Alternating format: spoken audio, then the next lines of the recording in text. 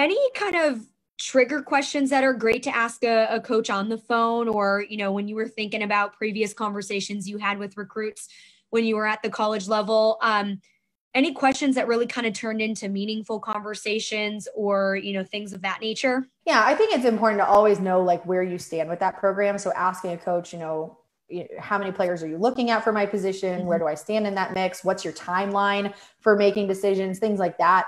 Um, you know, but I think also the the questions that a player asks me help me get to know what is it that they value. So when you ask me things like, you know, what's the emphasis of academics? You know, how do your players you know balance their academics and their and softball and the, the demand of the schedule i knew that was someone who cared about academics i probably wasn't going to have to be looking over their shoulder all the time you know to make sure that yeah right um, you know, and things along the lines of, you know, what is what does a, a, typical day look like? What are the conditioning workouts that you guys do? Like, I know that you're somebody that works hard. Like, if you care about, you know, the types of workouts that we're doing, or even what should I be doing now? You know, just mm-hmm. asking for that input. Um, you know, what what can I be doing now to prepare myself for the types of workouts we're going to do in your program?